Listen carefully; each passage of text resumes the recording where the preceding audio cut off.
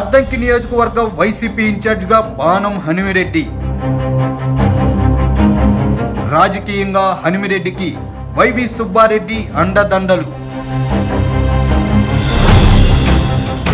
ప్రకాశం జిల్లా అద్దంకిలో sitting TDP MLA Gottipati రవికుమార్కు చెక్కు పెట్టడానికి వైసీపీ అధినేత సాహసోపేతమైన నిర్ణయం తీసుకున్నారు. కమ్మ సామాజిక వర్గం ఓట్లు కీలకంగా ఉన్న నియోజకవర్గంలో ప్రత్యక్ష రాజకీయాలకు కొత్త అయిన పానం హనుమిరెడ్డిని ఇన్ఛార్జిగా ప్రకటించారు. దివంగత వైఎస్ అభిమాని అయిన పానం హనుమిరెడ్డి వైవి సుబ్బారెడ్డితో అత్యంత సన్నిహిత సంబంధాలున్నాయి. రాజకీయంగా హనుమిరెడ్డికి వైవి సుబ్బారెడ్డి అండదండలు పుష్కలంగా ఉంటాయంటున్నారు. కాంగ్రెస్ నుంచి హనుమిరెడ్డికి రాజకీయాలతో సంబంధం ఉన్న ఎన్నడూ ప్రత్యక్ష రాజకీయాల్లోకి రాలేదు. అయితే ఆయనకు గతంలో గుంటూరు జిల్లా పెదకూరపాడు నియోజకవర్గ ఇన్ఛార్జిగా పనిచేసిన అనుభవం ఉంది. ఆ క్రమంలో ఈసారి అద్దంకిలో ఈక్వేషన్లు మార్చడానికి వైసీపీ అధినేత ఏరి కోరి హనిమిరెడ్డికి ఇన్ఛార్జిగా బాధ్యతలు కట్టబెట్టారు. అర్ధంకిలో గొట్టిపాటి రవికుమార్ గత నాలుగు సార్లుగా వరుసగా విజయాలు సాధిస్తూ వస్తున్నారు.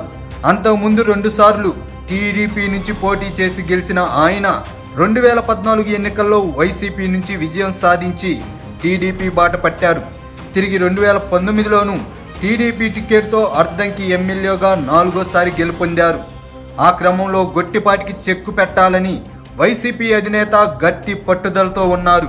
ఈ క్రమంలో రెడ్డి వర్గానికి చెందిన హనుమిరెడ్డిని బరిలోకి దించడానికి ఫిక్స్ అయినట్టు కనిపిస్తున్నారు.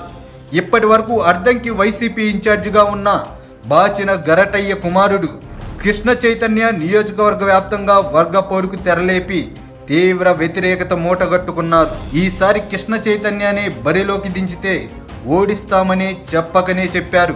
అర్ధంకి వైసీపీ పరిరక్షణ సమితి పేరుతో సెగ్మెంట్లో కృష్ణ చైతన్యను వ్యతిరేకిస్తూ వస్తున్నారు. కృష్ణ చైతన్య వ్యతిరేకులంతా ప్రస్తుతం హనిమిరెడ్డికి బాసటగా నిలుస్తుండడం గమనార్హం. అది ఖచ్చితంగా హనిమిరెడ్డికి వచ్చే ఎన్నికల్లో ప్లస్ పాయింటే అంటున్నారు. ఇక అర్ధంకి నుంచి చీరారు వెళ్ళిన ఎమ్మెల్యే కర్ణం బలరాంకు స్థానికంగా బలమైన కేడరే ఉంది. ఇన్ఛార్జిగా ప్రకటించాక హనుమిరెడ్డి స్వయంగా వెళ్ళి మోకాల్ చికిత్సతో విశ్రాంతి తీసుకుంటున్న చీరాల వైసీపీ ఇన్ఛార్జ్ కరణం వెంకటేష్ని కలిసి వచ్చారు. ఆ క్రమంలో కరణం బలరాం కూడా మద్దతిస్తే అర్ధంకిలో హనుమిరెడ్డి గెలుపు నల్లేరు మీద నడకే అన్న అభిప్రాయం వ్యక్తమవుతుంది.